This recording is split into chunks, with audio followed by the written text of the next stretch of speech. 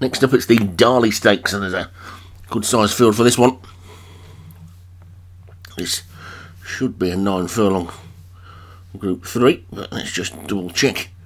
And indeed, it is a nine furlong group three for three year olds and upward gypsy train at the top for Leon Van Rensburg, Ragador Oki for David Robertson, the First Lady David Hooley, Mexican Cowboy Leon Van Rensburg, Poet's Word Dan Hughes, Castle Frentano Darren Thompson, Frankel Grey Dan Hughes, Major Trickster David Hooley, Mousescarer Craig Beckwith, Pierre Michael Scala, Give Me Some Candy, Craig Allen, NF Wonders, Thomas Rogers, Lifeguard Emma, Craig Allen, Soaring High, Satyam Angelopoulos, Darren Thompson, and Takitu Memento for Rod McClure at the bottom.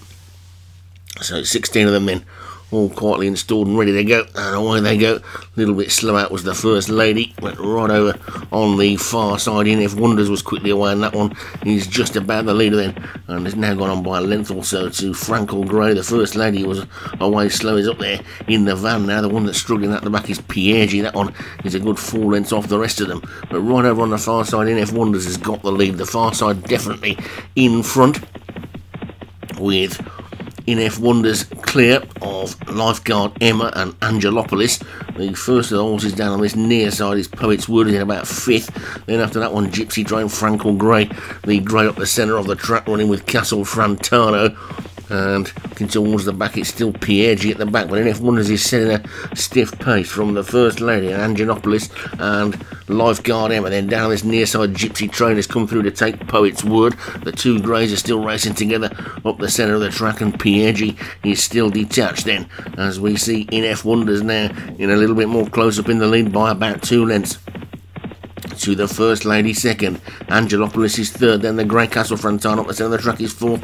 That one's making significant progress. Poet's Word and Gypsy Trainer also trying to come through. So too is Frankel Grey. They've still got two and a half furlongs to go. And NF Wonders is still the leader. But now the far side are beginning to catch up. Frankel Grey leads that group from Poet's Word. Then over on the far out Mexican Cowboy Castle Frantano is still there as well. But NF Wonders in front. Frankel Grey looks like he might be beginning to challenge. Here comes Poet's Word again and Castle Frantano is still NF Wonders in there on the far side. Poet's Word as they pass the furlong pole. It's Castle Frantano who's suddenly at the front as in F1 just drops away and it's Castle Frantano who's clear from the fast finishing Angelopoulos and also for the First Lady as they come towards the line now. Castle Frantano and Angelopoulos. It's a photo between the two Darren Thompson horses so he won't much care which one of them's won. Um, bizarrely, if it's a dead heat, does it register as two wins?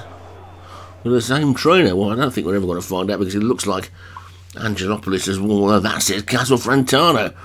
Well, let's have a look and see what the situation is. It's Castle Frantano, the winner for Darren Thompson.